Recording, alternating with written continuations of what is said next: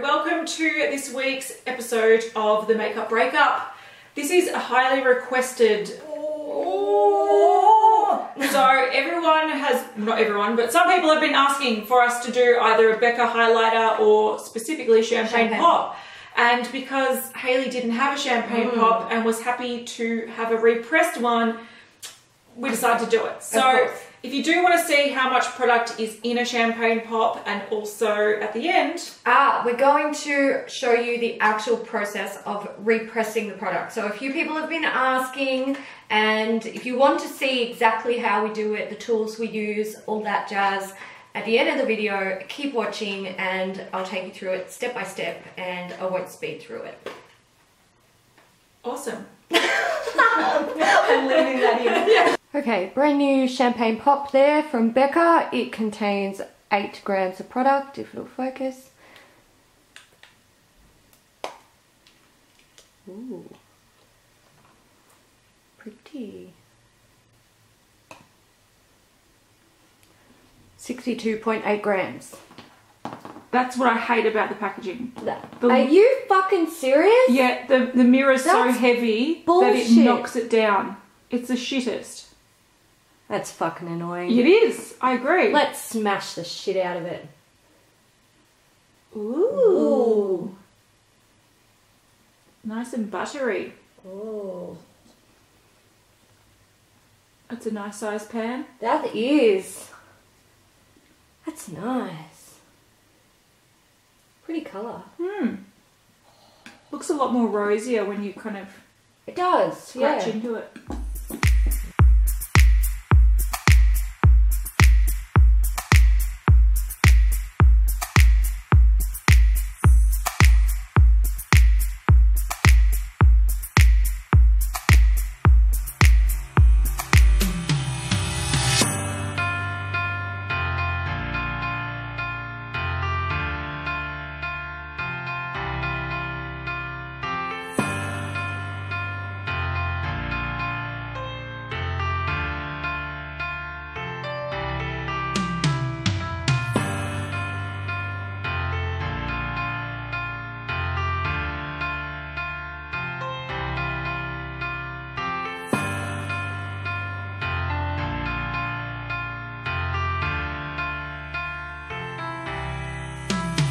Alright, empty compact.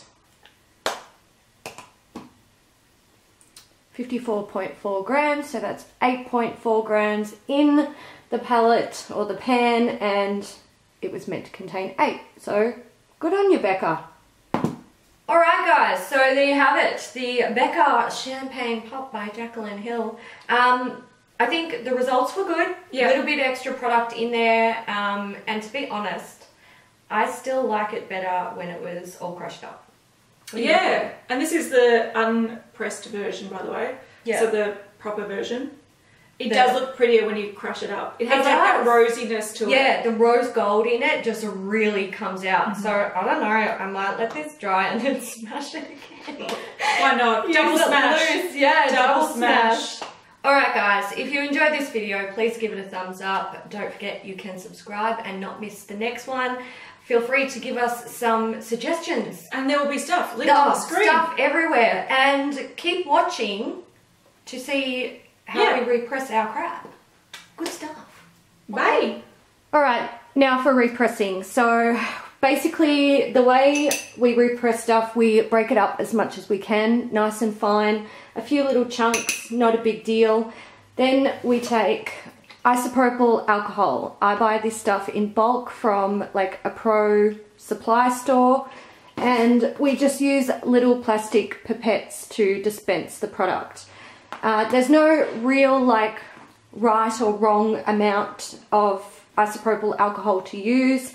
Um, you just sort of mix it up until it's kind of like wet sand. And I like to use 100% isopropyl when I'm repressing things, especially when it's a new product, um, because there's not likely to be any germs in there. So, you know, it's break it up with a clean tool and then repress it.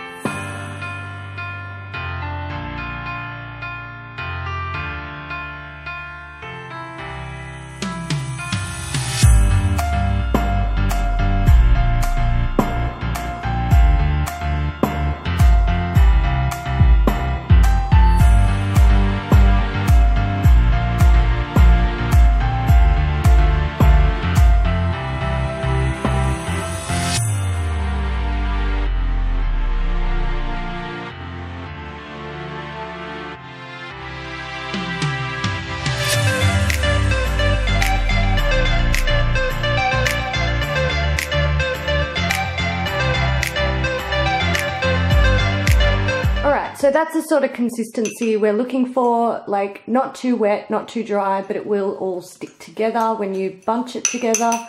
And then we just chuck it in the pan and press it.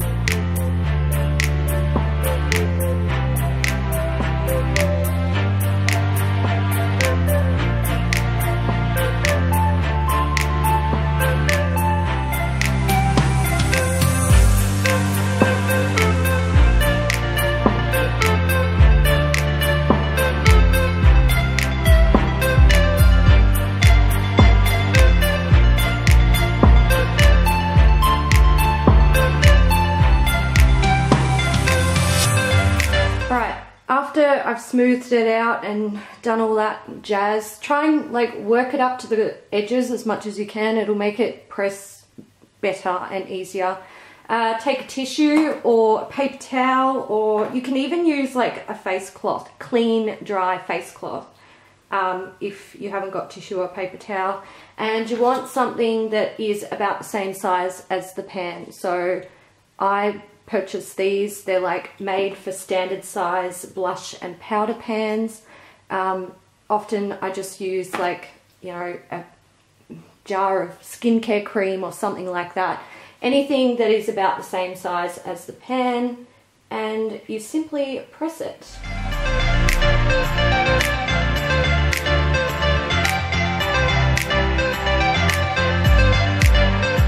For highlighters, um, you can use quite a bit of pressure to pack these in. I just got Kat to give it a really good squeeze um, because you don't want to pick up too much product with your brush after you repress it and you just you've got to base like the pressure that you use on the type of product that you're pressing so if it's pressed powder you might want to use less pressure because you want to pick up more product with a brush um, yeah so just go with your gut.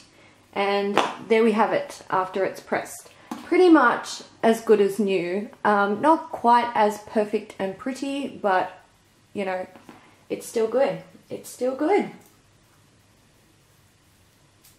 There we go.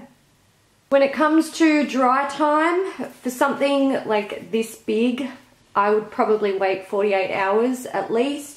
If it's like half a pan or you've only got a tiny bit of product in there, 24 hours and it should be good to go.